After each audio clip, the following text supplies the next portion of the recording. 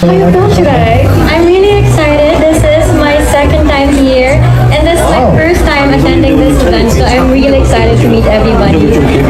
8th International Outstanding Award. Ginanap nga ito sa South Korea at itinanghal si Catherine Bernardo ang nanalo sa Asian Star winner sa South Korea.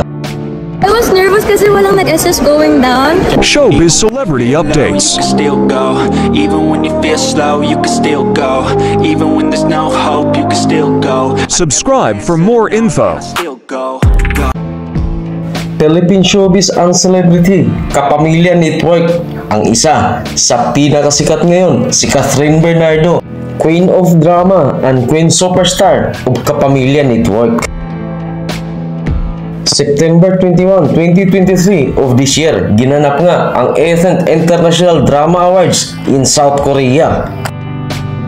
And for the speech as Outstanding Asian Star Winner in South Korea, itinangal nga ang Kapamilya Network ang Queen Superstar na si Miss Catherine Bernardo. Proud kapamilya and proud Philippine celebrity si Miss Catherine Bernardo ang itinanghal na isa sa nanalo sa Asian Star winner in South Korea.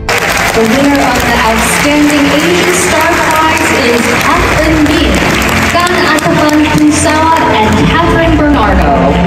Naranasan ni Catherine ang nervous dahil wala nga nag-assess pero successful naman ang lahat lalo na nung nakita niya ang iba pang kababayan nating mga Filipinos. I was nervous kasi walang nag-SS going down. But then as I was walking, nakita ko kasi ibang Filipinos cheering. So, ang saya lang na they were also there. And also, they were, they were very kind naman. Tas- At ibinida din ni Kath ang kanyang kasuotan na nagmula naman ito sa Philippine designer. Super comfortable naman siya sa kanyang kasuotan at nabighani din ang karamihan at lumitaw nga ang tunay na kagandahan ni Miss Catherine Bernardo.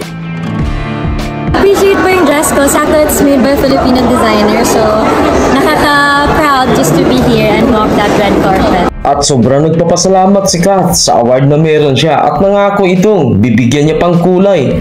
At magiging mas makulay pa ang mga kasunod na kabanata kung meron mang gagawing pelikula si Kath. My name is Catherine Bernardo and I am a Filipino. Being here tonight first of the year's Seasons Award, along with my fellow awardees from Asia, I'm still overwhelmed and it still feels surreal.